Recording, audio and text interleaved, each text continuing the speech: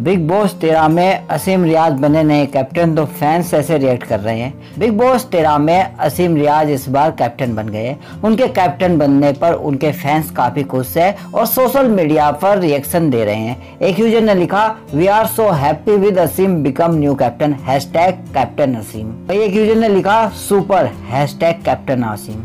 एक यूज़र ने लिखा he is the deserve candidate for captainship वही एक यूज़र ने लिखा कॉन्ग्रेचुलेसन असीम ब्रो एक यूज़र ने लिखा आई एम सो हैप्पी वहीं एक यूज़र ने लिखा finally seriously he play all the task and do all but I am happy he became captain एक यूज़र ने लिखा, एक नंबर ब्रो वही कुछ ऐसे यूज़र भी हैं जो असीम के कैप्टन बनने पर बिल्कुल भी खुश नहीं। एक यूज़र ने लिखा, देखते हैं हम कैप्टन बनने के बाद कौन से तीर मारता है?